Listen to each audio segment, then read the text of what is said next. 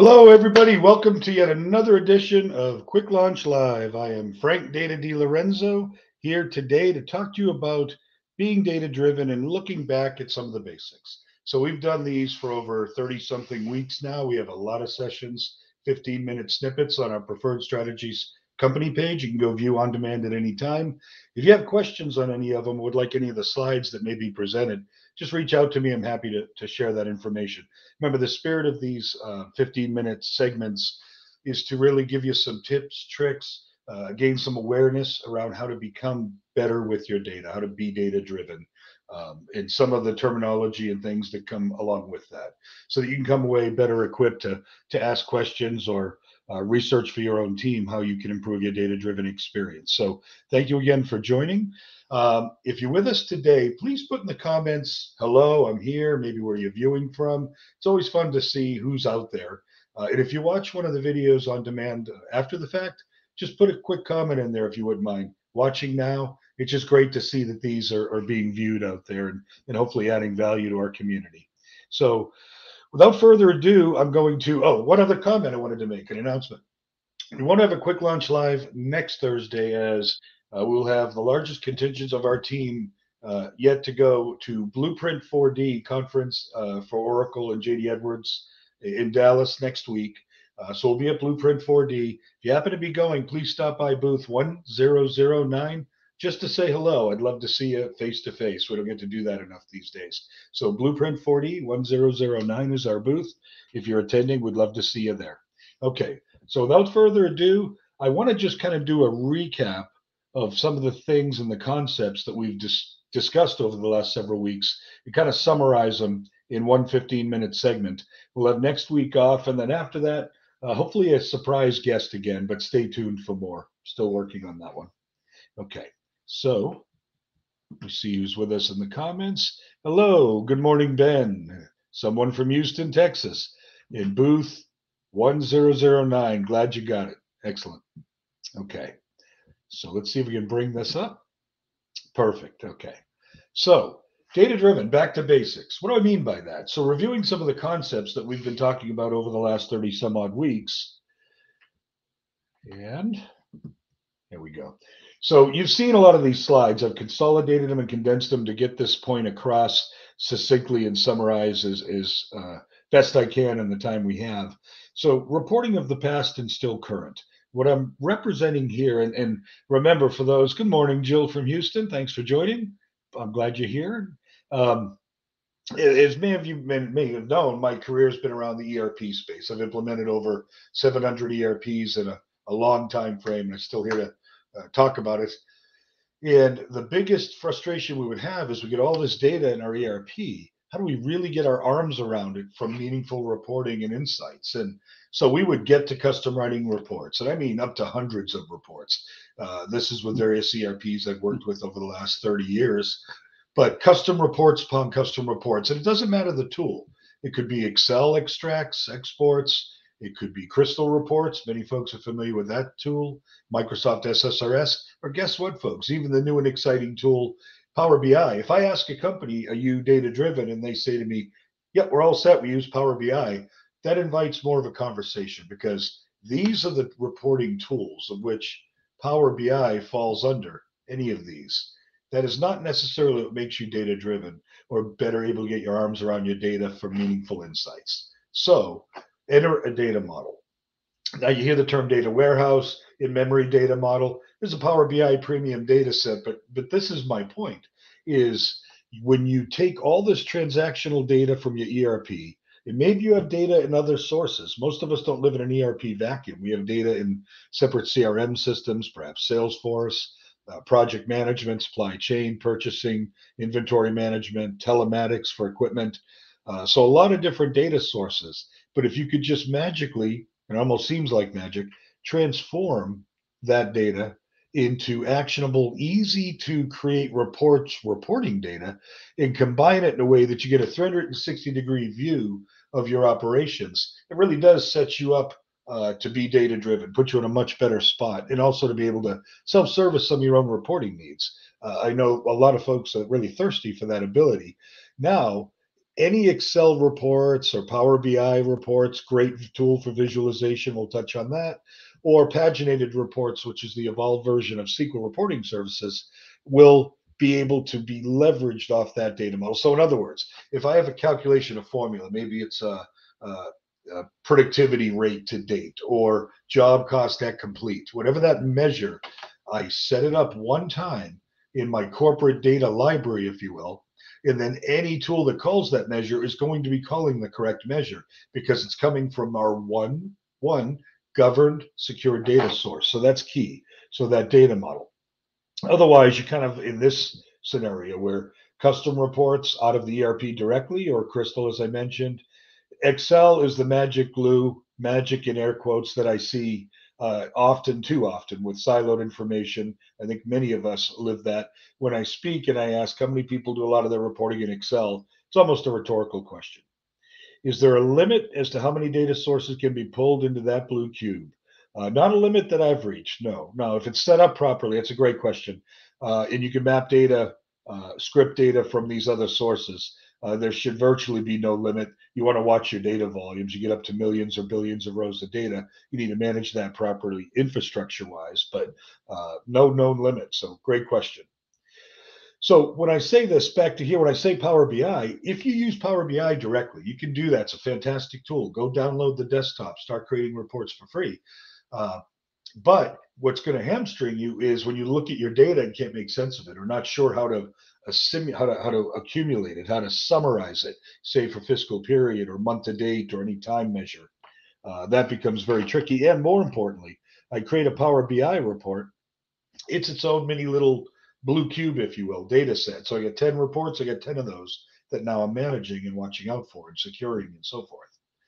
This is really what we're after. And I want to talk about this just for a moment. So, module measures dimensions. Let's break that down. In your ERP, you probably have a general ledger, AP, AR module, equipment, in this case, job cost, manufacturing, sales. That is all of the representative data in your ERP modules. Could obviously be other data sources as well, as we just mentioned. Over here is how you want to measure that data. You want to look at it by as of a date, last 12, uh, rolling period, month to date, gross profit, uh, revenue, and so forth. So that's all the measures you want to see with your data, how you want to uh, report on it and gain insights.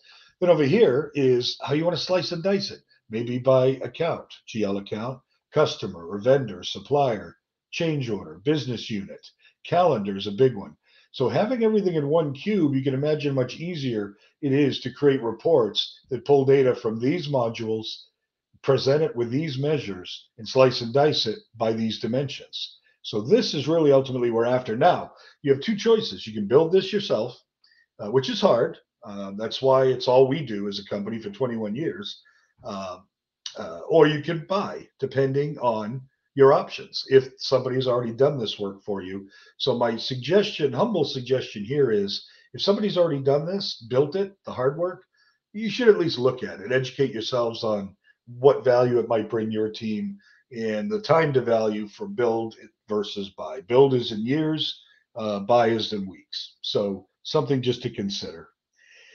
And here's just something. Here's a dashboard that was created out of an Oracle database uh, with the raw data. So let's look at this. All the joins between tables must be created manually. No support for decimals. In this particular database, there's no decimals. So you have to convert the numerals to decimals extra work. This is a biggie across any system. Data refresh rates lead to poor experience. How often do you run a report you see it spinning, and you go off to do something else, come back and it's still spinning? So refresh and uh, refresh rates and performance matters. Field names. Let's take a look. When I open up the database, there's the names I'm trying to write the report from. Very uh, difficult to translate and confusing to filter all of this data. Now, and lack of measures mean you're writing formulas pretty much at report creation time. Formulas, measures. Uh, have I ever heard of anyone trying to build this themselves? That's a great question. Yes.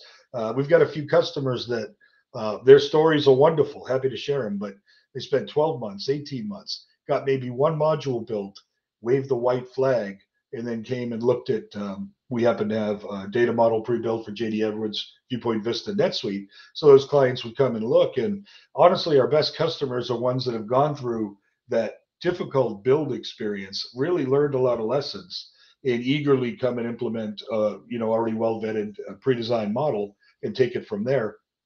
Um, I think part of our mission in this education and awareness is maybe save you from going through that 12 to 18 month exercise if, if we can.